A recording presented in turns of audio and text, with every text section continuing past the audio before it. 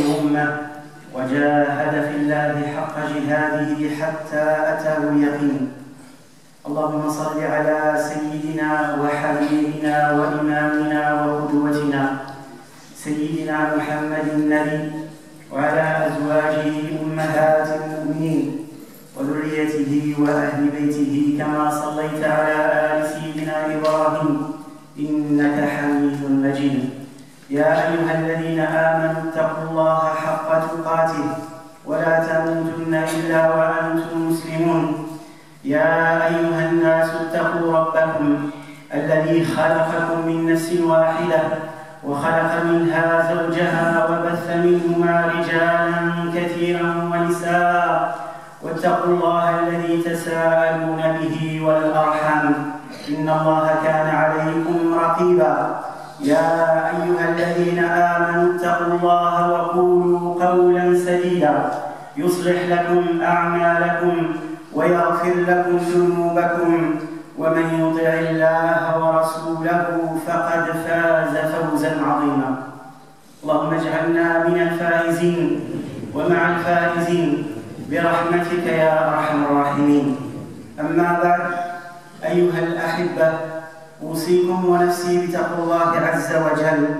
عن ابن عباس رضي الله عنهما قال لما نزلت هذه الآية وأنذر عشيرتك الأقربين صعد النبي صلى الله عليه وسلم الصفا ذات يوم فقال صلى الله عليه وسلم يا صبحا فاجتمعت إليه قريش. قالوا ما لك؟ قال أرأيتم لو أخبرتكم أن العدو يصبحكم أو يمسيكم أما كنتم تصدقوني؟ قالوا بلى. قال صلى الله عليه وسلم فإني نذير لكم بين يدي عذاب شديد. فقال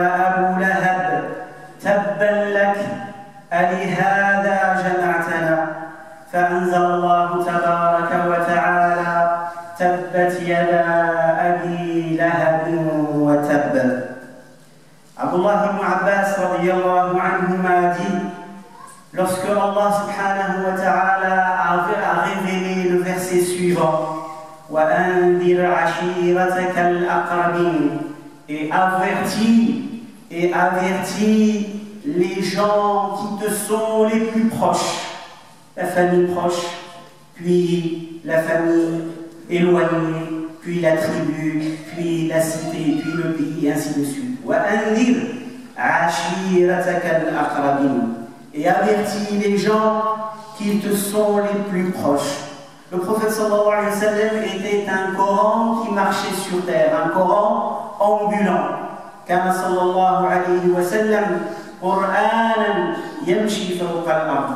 Et le prophète sallallahu alayhi wa sallam interprétait et traduisait la parole de Dieu subhanahu wa ta'ala dans la réalité. Quand ce verset lui a été révélé à la Mecque, il a rassemblé toute sa famille, il a rassemblé toute la tribu de Quraysh, toutes les tribus qui appartenaient à la grande tribu de Quraysh.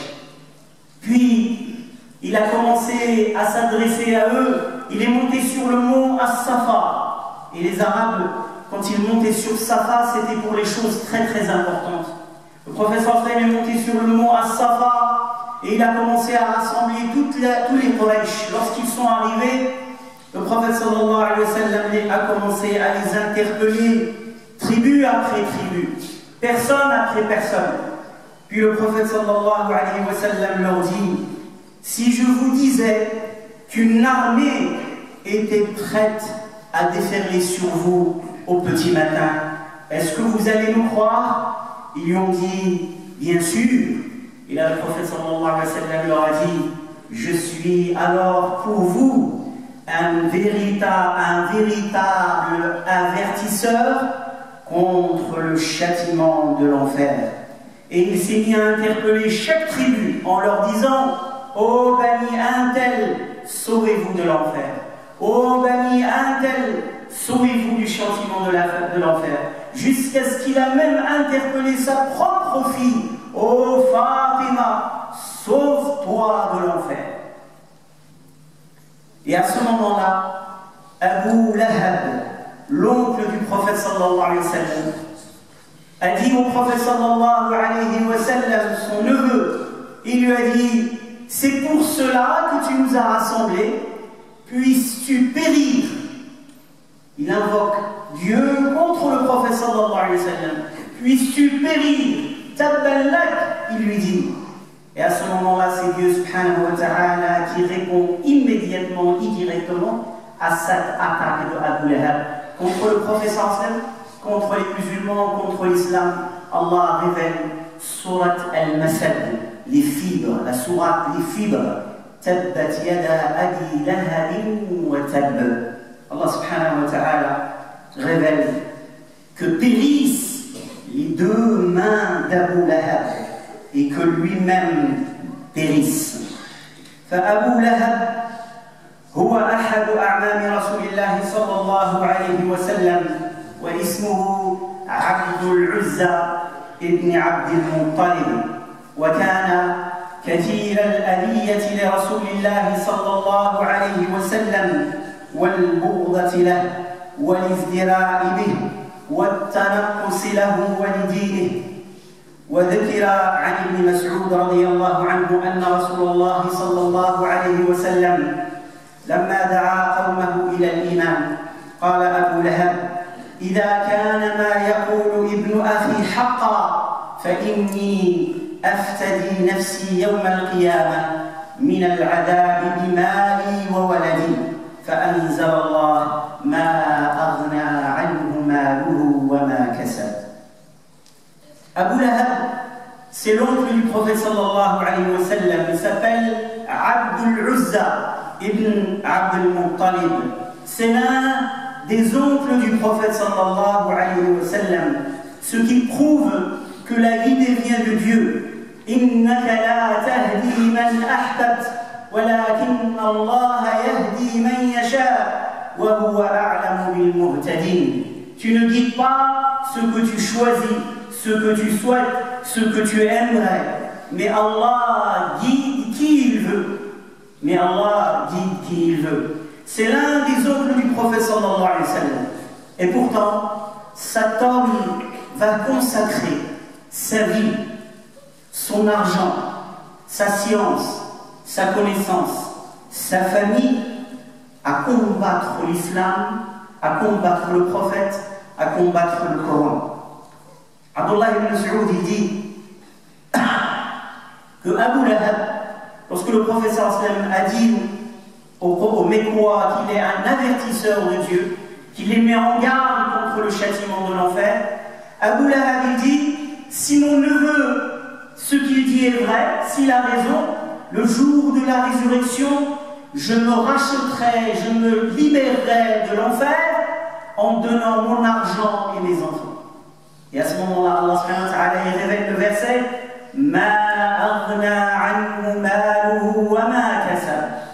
C'est bien son argent, ses enfants, tout ce qu'il possède, eh bien, ne lui sert à rien, ni ce qu'il a acquis. Allah subhanahu wa ta'ala m'a permis de faire la connaissance d'un frère ces dernières semaines et qui m'a fait relire cette sourate avec une nouvelle vision, de la reméditer et de la comprendre à nouveau. Ce frère, il est dans une épreuve incroyable. Il est atteint d'une maladie très rare.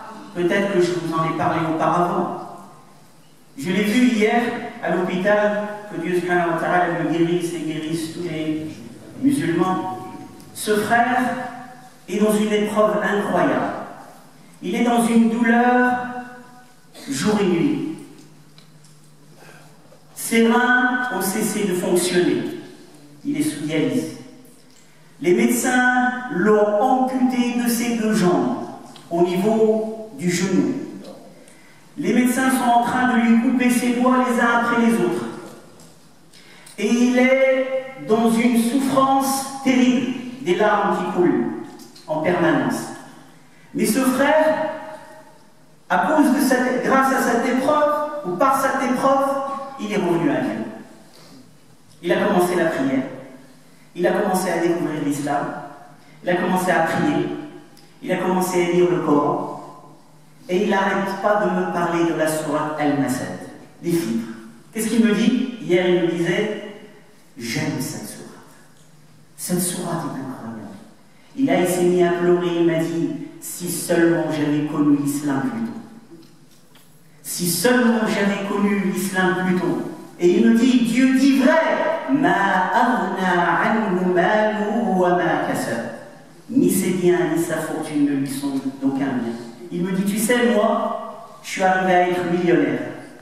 Mais je serais prêt à tout donner. Tout est parti. Il m'a dit, tout est parti. Mais réel, il m'a dit, je suis prêt à tout donner ici, à tout dépenser. Il m'a dit, on m'a coupé les jambes, c'est pas grave. On me coupe les doigts, c'est pas grave. Je veux juste que Allah subhanahu wa ta'ala me pardonne. Et il apprend Surat al-Masad en phonétique. Et il, a, il, combat, il fait un effort extraordinaire, il n'arrive même pas à tenir le Coran, les doigts sont coupés. Et il a le souci de, de, de méditer. Il me dit Ni ses biens, ni sa fortune, ni son argent ne lui ont été d'un secours. Faites-lui grâce, son rêve, son rêve, c'est d'avoir des prothèses, de sortir de l'hôpital et de venir à la mosquée. Et il s'est mis à pleurer, il m'a dit si je viens dans la mosquée, est-ce que les gens ne vont pas se moquer de moi?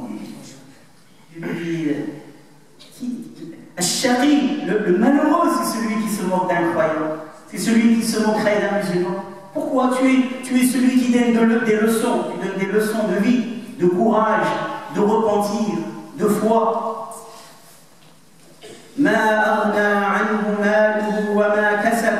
عن ابي هريره رضي الله عنه قال قال رسول الله صلى الله عليه وسلم من اتاه الله مالا فلم يؤد زكاته مثل له يوم القيامة شجاعا أقرع. له زبيبتان يطوقه يوم القيامة ثم يأخذ بلهزمتيه يعني بشدقيه ثم يقول أنا مالك أنا كنزك أنا مالك أنا كنزك.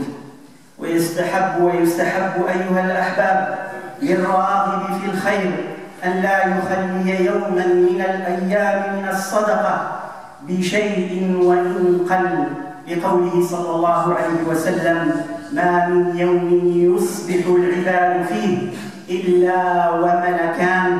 يقول أحدهما اللهم أعطي منفقا خلفا ويقول الآخر اللهم أعطي ممسكا تلفا. ولقوله صلى الله عليه وسلم كل امرئ في ظل صدقته حتى يفصل بين الناس أو قال حتى يحكم بين الناس Cette sourate on peut la comparer à une autre sourate. Sourate al-Masad des fibres, on peut la comparer à une autre sourate qui est sourate al-Layl, la nuit. Et cette sourate, ou ces deux sourates, elles nous donnent deux modèles de personnes, deux modèles de foyer, deux modèles de famille, deux modèles de fortune, de richesse et de bien. La première, sourate al-Masad, elle parle de Abu Lahab, qui a utilisé sa famille, son argent, son temps pour combattre l'islam, pour combattre Dieu, combattre le professeur pour acheter une place en enfer, que Dieu nous préserve. Et Abu Lahab était très riche, avait des, troupeaux de biens, et avait des richesses, et avait un certain pouvoir à la Mecque. Et tout ça, il l'a utilisé pour acheter une place en enfer. Surat Layl, Allah nous parle d'un autre homme d'un autre foyer, d'une autre famille, d'un autre bien qui a été utilisé pour donner victoire au professeur islam, victoire à l'islam, acheter la plus haute place au paradis. C'est la famille, c'est Abu Bakr Siddiq s'est fait.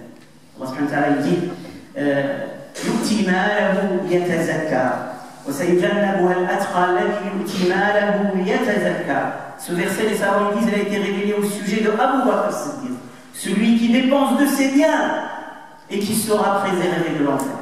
Et le professeur Sami dit aucun bien ne m'a été aussi profitable que les biens de Abu Bakr Siddiq, qui a libéré les esclaves pour Dieu, qui a donné toute sa fortune pour le professeur Sami pour l'islam, et qui a fait participer toute sa famille dans la victoire de l'islam et le soutien du prophète alayhi salam. Et quand on parle des biens, ça ne veut pas dire que c'est l'argent uniquement. C'est l'argent, c'est la santé, c'est le temps, c'est tes enfants, c'est ta science, c'est tes connaissances, c'est tes réseaux, c'est tes connaissances, etc. Tout ce que Dieu t'a donné comme risque dans ce bas monde, eh bien, soit la personne choisit d'être sur la voie de Abu Bakr et de les utiliser dans la voie de Dieu, soit que Dieu nous préserve et choisit la voie de Abu euh, Lahab.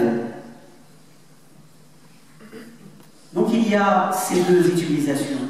Bien sûr, quand on parle des biens, il faut commencer par ce qui est obligatoire, c'est-à-dire s'acquitter de zakat, que ce soit la zakat des revenus, des salaires, que ce soit la zakat des marchandises pour ceux qui sont commerçants, ou dans l'agriculture pour ceux qui sont dans l'agriculture, ou des bijoux pour les femmes qui auraient des bijoux et qui les ont achetés avec l'intention de garder de l'argent. Et les savants à l'unanimité, s'accordent pour dire que la zakat des bijoux des femmes, si elles ont été achetées pour, les, pour la parure et pour les porter, il n'y a pas de zakat. Mais si la femme les a achetées pour garder de l'argent, pour euh, investir de l'argent, elle doit s'acquitter de la zakat de sa part. Et le prophète sallallahu alayhi wa sallam nous met en garde, il nous dit que cet argent, que ce bien si on ne s'acquitte pas de ses droits dans la vie d'ici-bas, eh bien le jour de la résurrection, il sera transformé en un serpent qui s'enroulera autour de son propriétaire et qui lui arrachera les lèvres au niveau du visage. Et Satan, euh, dans une souffrance terrible, dira Qui es-tu? Qui es-tu? Et ce serpent lui dira Ana Ana je suis ta richesse, je suis ton trésor, je suis ton bien. Et après ce don euh, obligatoire qui est zakat, c'est bien que le croyant s'entraîne à être généreux le reste de sa vie, le reste de l'année. Puisque chaque jour, dit le professeur Sami, il y a deux anges dans le monde céleste qui lancent un appel. L'un dit Allahumma a'ti khalafa. Oh Allah, donne à toute personne qui a dépensé de lui un surplus, de lui mieux, remplace-lui par mieux, de lui donne à celui qui a dépensé pour toi. Et l'autre ange, il dit Allahumma a'ti mumsikan talafa. Oh Allah, toute personne qui a fait preuve d'avarice, fait que ses biens soient perdus, fait euh, qu'il récolte la perte.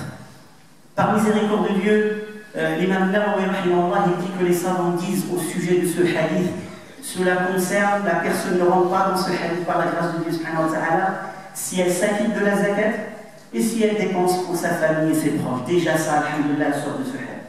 Mais comme euh, il y avait un homme et son épouse, chaque matin, pour appliquer ce hadith, chaque matin quand il faisait la prière, il mettait dans une boîte une pièce pour que l'ange lui dise Allahumma munfiqan khalafa, il soit parmi ceux euh, qui reçoivent et qui bénéficient de l'invocation de cette ange.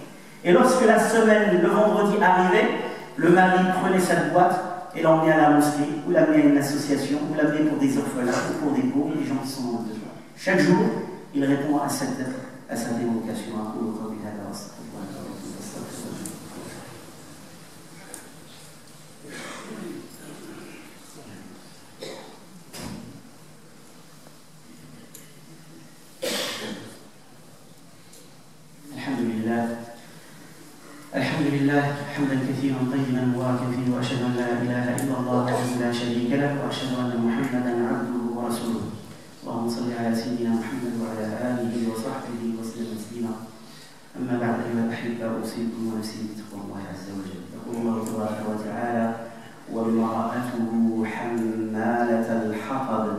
في جيدها حبل مسد. كانت زوجته من سادات نساء قريش وهي أم جميل واسمها أروى بنت حرب بن أمية وهي أخت أبي سفيان. وكانت عونا لزوجها على كفره وجحوده وعناده. فلهذا تكون يوم القيامة عونا عليه في عذابه في نار جهنم. ولهذا قال سبحانه حمالة الحطب في جيدها حبل من مسد. يعني تحمل الحطب فتلقي على زوجها ليزداد على ما هو فيه وهي مهيئة لذلك مستعدة له. في جيدها حبل من مسد قال مجاهد وعروة من مسد النار. homme qui a investi son temps, son argent, sa science, sa connaissance, sa famille, ses biens dans la guerre contre l'islam, sa femme a été son amie et l'a suivi et l'a aidé dans le combat contre le prophète sallallahu alayhi wa sallam. Elle aussi, elle a utilisé son statut auprès, au sein de la Mecque. Parmi les femmes de la Mecque, elle avait une place particulière. Elle a utilisé ce statut. Elle a utilisé son statut social, son argent, son bien, sa connaissance. Elle a même utilisé sa littérature, puisqu'elle faisait de la poésie. Elle l'a utilisé pour combattre l'islam, pour combattre le prophète wa. Et comme elle l'a aidé contre le prophète elle sera une aide contre son époux dans l'enfer. Puisque Dieu dit que sa récompense à cette femme qui est Oum Jamil, qui elle, elle s'appelle Oum Jamil, et c'était la sœur de Abu Sufyan. Abu Sufyan, c'était la sœur de Abu Sufyan, fait partie des Bani Umayya. Et Allah subhanahu wa ta'ala dit, euh, il, en parlant de Abu Lahab, il sera brûlé dans un feu plein de flammes. De même, sa femme, la porteuse de bois, à son cou une corde de fibres. Cette femme, Oum Jamil, eh bien, elle a été un soutien euh, contre, un soutien du côté de son époux contre le prophète sallallahu alayhi et donc elle aura la même punition, ou elle aura une punition dans l'enfer. Al-jaza min jinsi al-amal. Al-jaza lil-ihsan illa lil-ihsan. La sunna de Dieu c'est que la récompense, elle est toujours de la même nature que l'action. Et la punition, elle est toujours de la même nature que l'action. Comme elle, elle combattait l'islam en s'alliant avec son époux, le jour de la résurrection en enfer, elle sera contre son époux, elle aura des fibres. Et les savants disent, ce seront des fibres de flammes de l'enfer qui seront autour de son cou. Et elle, elle rajoutera du combustible pour que son mari brûle, et elle souffre et brûle. كانت أروى بنت حرب تأتي بأغصان الشوك وتطرحها بالليل في طريق رسول الله صلى الله عليه وسلم. وعن مجاهد رضي الله عنه قوله وامرأته حمالة الحطب قال كانت تمشي بالنميمة. وعن الحسن قوله حمالة الحطب قال كانت تحمل النميمة فتأتي بها بطون قريش بل استمر بها الحال حتى بعد نزول هذه السورة فعن أسماء بنت أبي بكر رضي الله عنه عنها وعنه قالت لما نزلت تبت يدا أبي لهب وتب أقبلت العوراء أم جميل بنت حرب ولها والولة وفي يدها فهر وهي تقول مذمم أبينا ودينه قلينا وأمره عصينا. ورسول الله صلى الله عليه وسلم جالس في المسجد. ثم قرأ قرآنا ومعه أبو بكر. فلما رآها أبو بكر قال يا رسول الله قد أقبلت وأنا أخاف أن تراك. فقال رسول الله صلى الله عليه وسلم إنها لن تراني. وقرأ قرآنا اعتصم به كما قال تعالى وإذا قرأت القرآن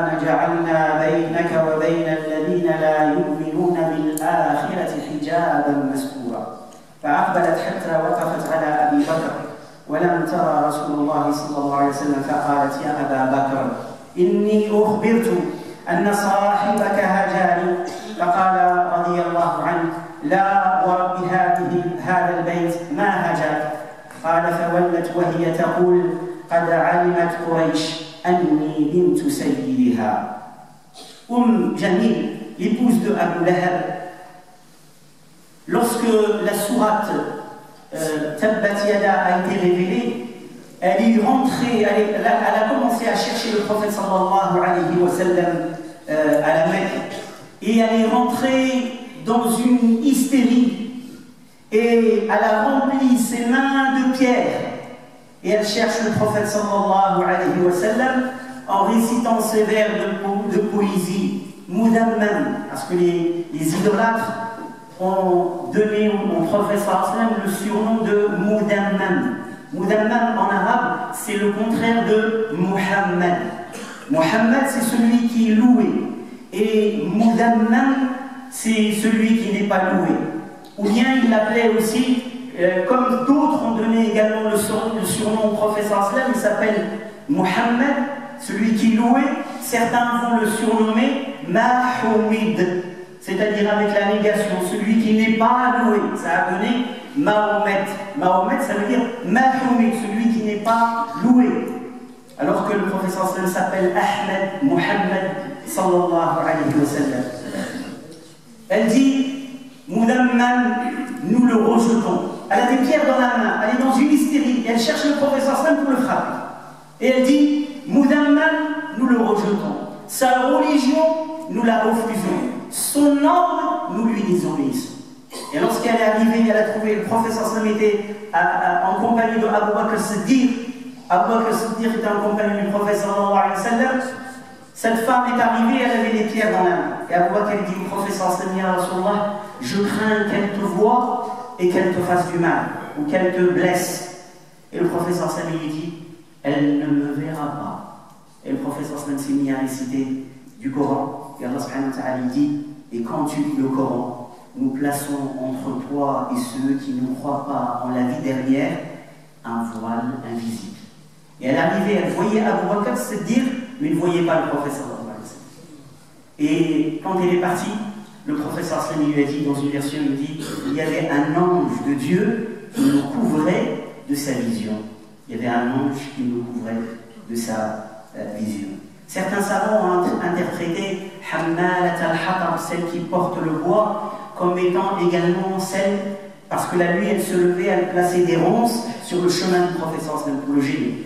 Mais également, les savants disent que c'est parce que c'était une femme qui colportait la médisance à la Mecque, au sujet des musulmans et au sujet de l'islam.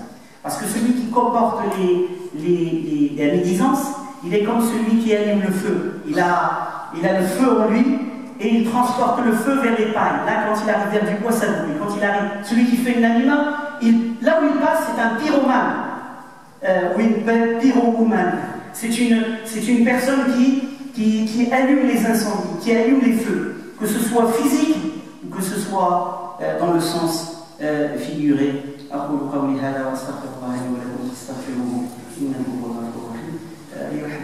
Juste quelques informations importantes.